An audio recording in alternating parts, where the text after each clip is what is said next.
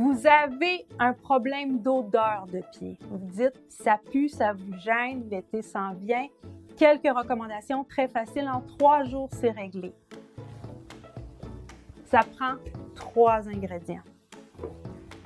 Un petit bain de pied dans lequel on met à peu près un quart de tasse d'eau de javel. On laisse tremper les pieds 20 minutes dans une eau tiède, confortable. À la fin, on s'essuie les pieds. Je recommande la serviette blanche pour ne pas scraper votre serviette de couleur vu que vos pieds vont avoir trempé dans l'eau de javel.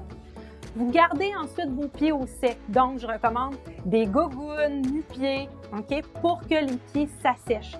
Parce que c'est quoi qui cause l'odeur des pieds? C'est des champignons qui puent. Et les champignons aiment l'humidité. Donc, si vous avez vos pieds au sec, ça va vous aider. L'autre étape qui est cruciale et importante pour que ça se tienne dans le temps, cet effet-là,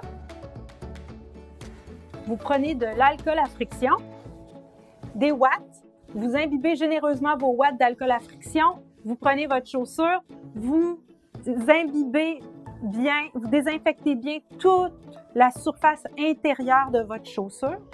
Si vous avez une, semelle qui s'enlève, vous la retirez, vous la désinfectez correctement des deux côtés, l'intérieur aussi.